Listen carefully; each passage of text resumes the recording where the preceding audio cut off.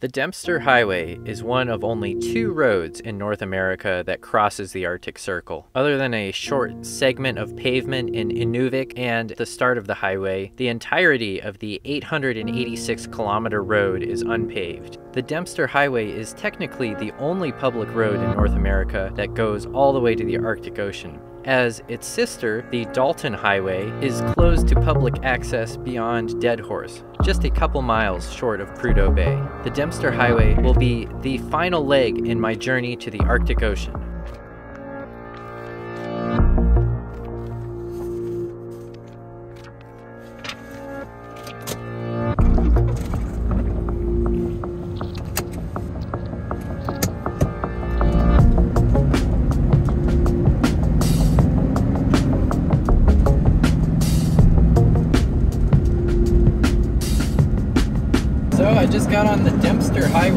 This is the road that's going to take me up to Tuktoyaktuk and the Arctic Ocean. Um, I'm pretty nervous, actually. I, have been nervous about this the whole trip. Um, I've heard a lot of scary things about this road, but a few people that I've talked to who've driven this road and are actually familiar with it have reassured me that it's fine as long as you take your time.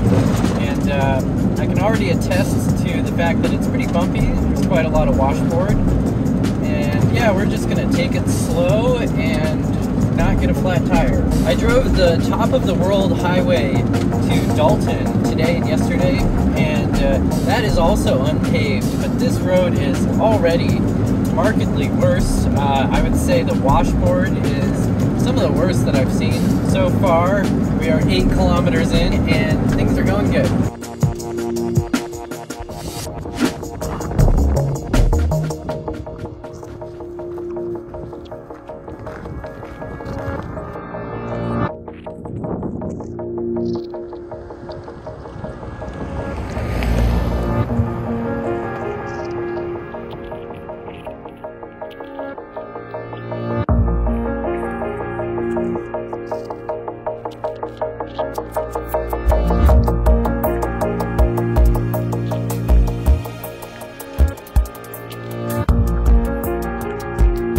Resident Dall's sheep add calcium and magnesium to their diet by drinking from Engineer Creek, which is rich in both.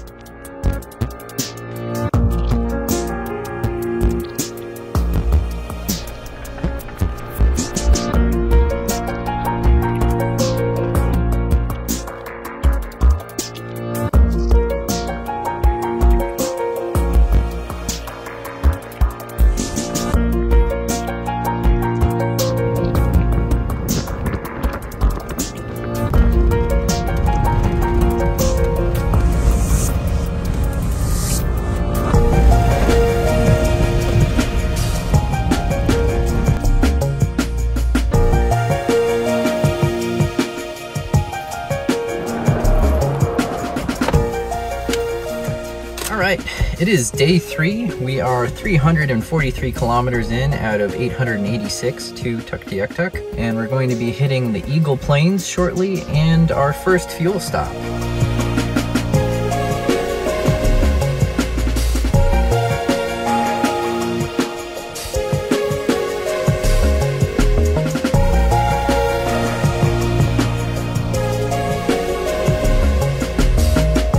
Stop was $105 Canadian, but they sure were friendly about it.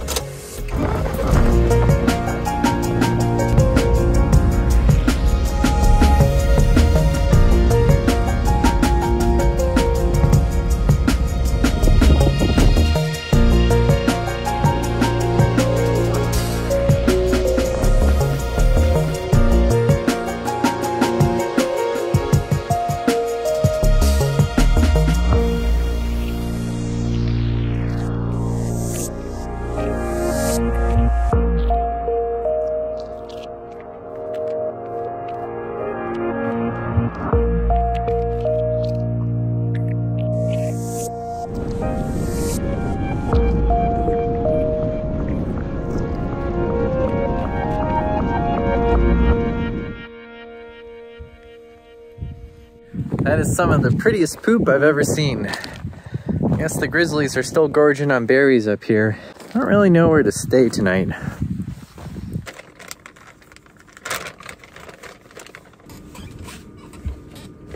Oh god, so many gnats. Well, we're camping in a cloud tonight.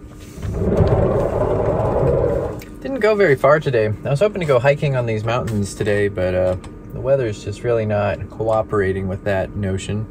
But maybe I can hit him on the way back.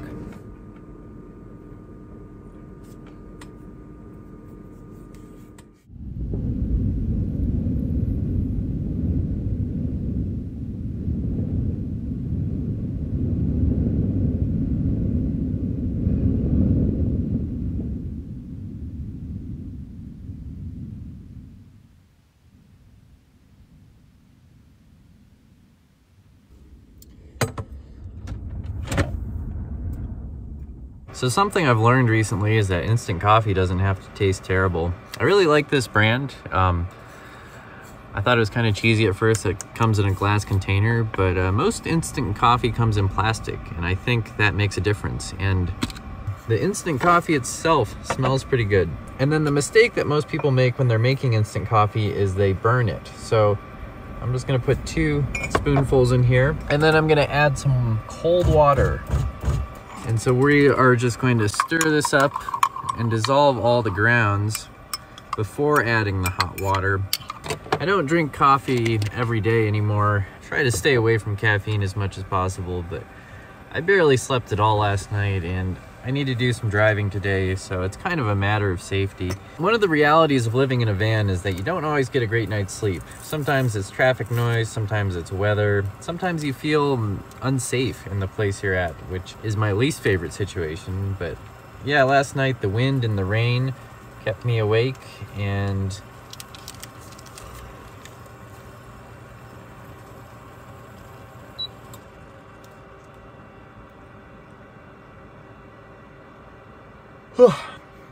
and I smashed the lens to my camera this morning. I wanted to take a time lapse with it, and uh, the wind blew it over.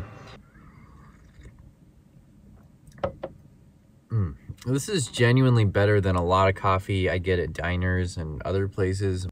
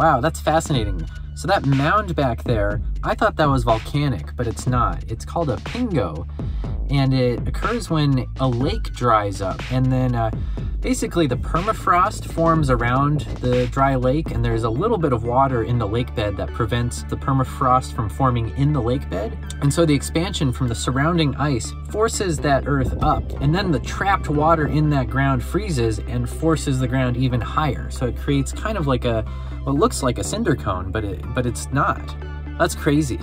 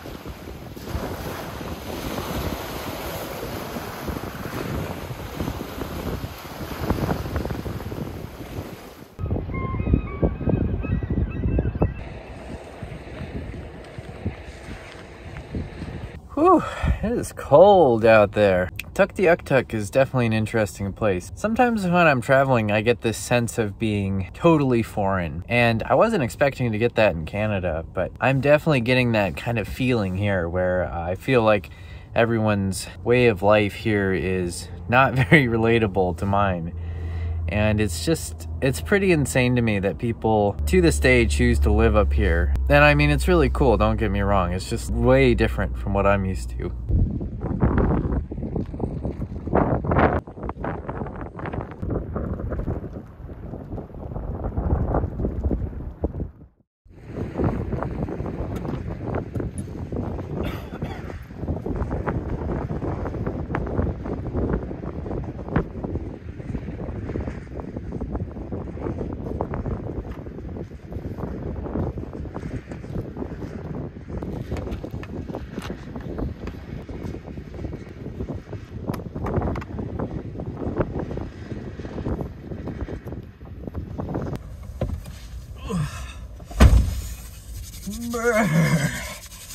Feels pretty weird to be heading south today. I've more or less been making my way north since April, so it's kind of a shock to be done. I feel like the longer I've lived in a van, the more I encounter moments like these where I'm like, well, now what? And uh, I don't really know. I kind of have a vague plan that I want to go to the East Coast this fall, but I'm not really married to that either. So I guess we're just going to hit the road today and see where we wind up.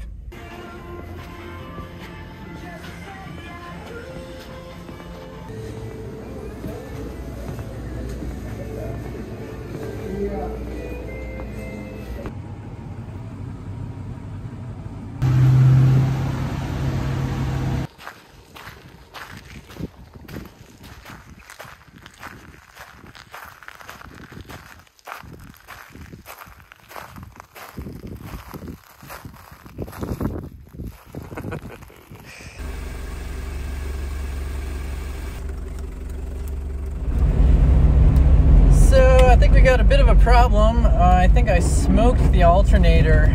The problem is it's been really cloudy recently, so I've been using my battery to battery charger.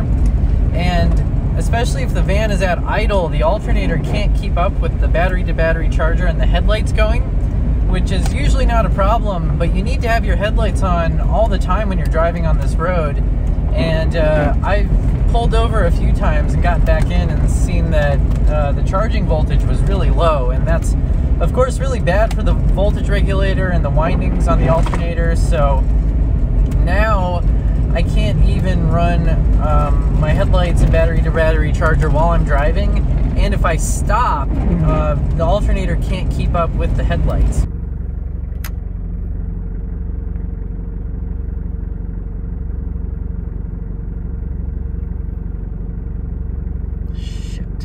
So yeah, I can smell it. smells like hot electronics out here. Um, crap, this is not when I, where I wanted to have to deal with this.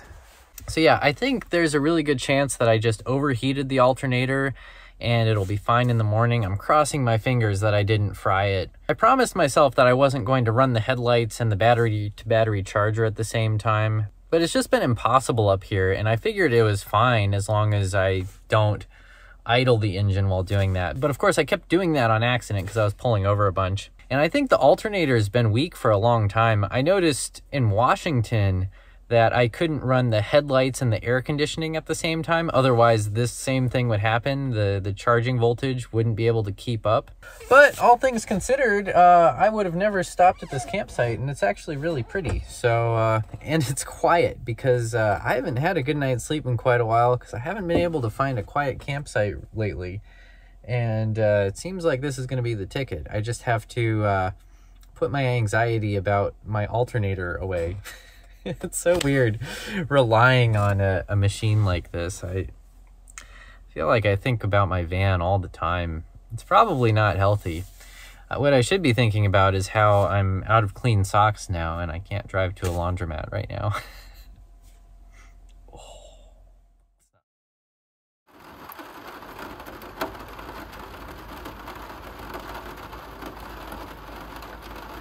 got a lot of different ideas swimming around in my head. It was raining this morning, which made me realize what was different about yesterday, and that's that it was raining. So not only was I running my lights, the blower fan, listening to music and have the headlights on, I was also running my wipers. And I think that was the straw that broke my alternator's back.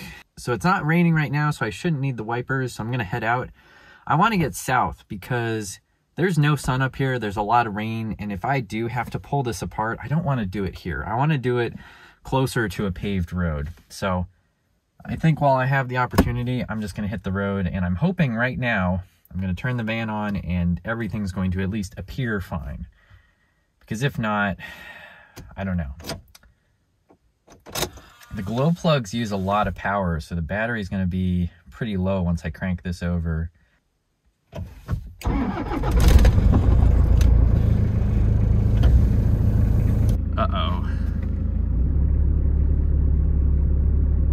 Oh, no. Crap. That's worse than I expected. Okay, so the glow plugs turned off. Uh, they stay on for a few minutes. And now we're okay. We're back to a charging voltage. I don't dare turn my lights on. I mean, I'm going to have to if uh, a car approaches me, but uh, yeah, we're moving. We are moving.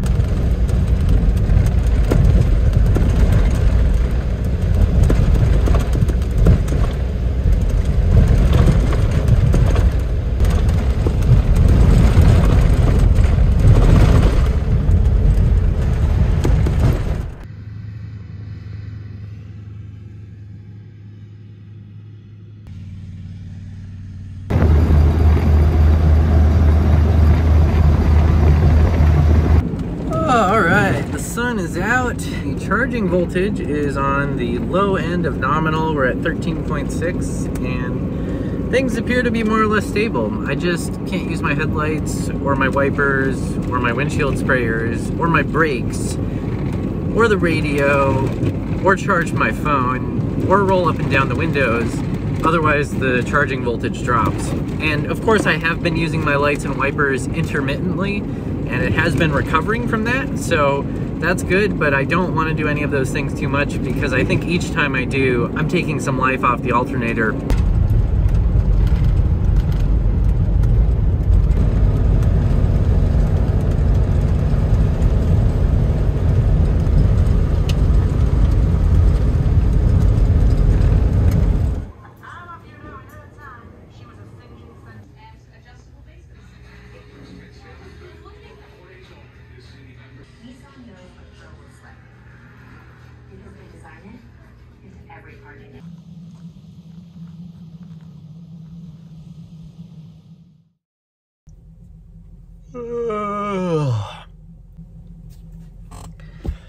So I found a campground in Dawson that has a 15 amp hookup and it's across the street from an auto parts store. So that seems perfect. I'm just gonna go there and replace my alternator at that campground.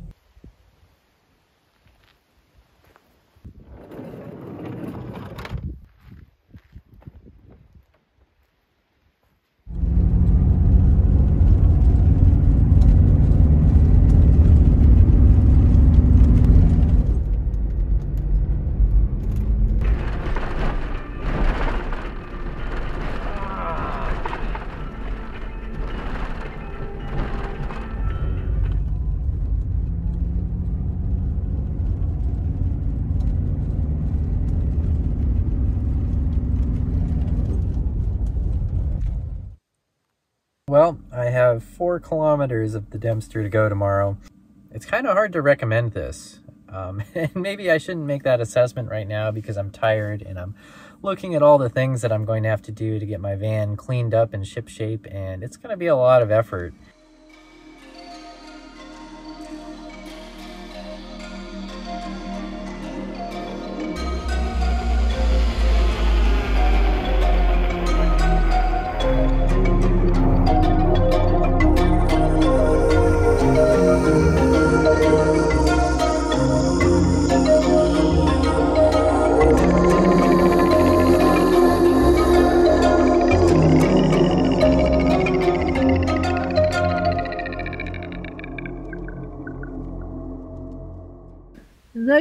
Board down on the side of the road? Oh, that thing? Yeah, yeah, that's why I'm stopped in the middle of the road forcing you to stop doing your job.